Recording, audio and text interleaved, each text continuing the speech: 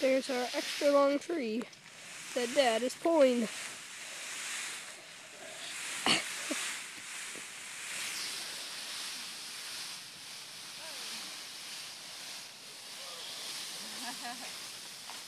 that your one that you're doing? Uh, no. Oh, it's just the one sideways over there. On that side. Come on, Nikki.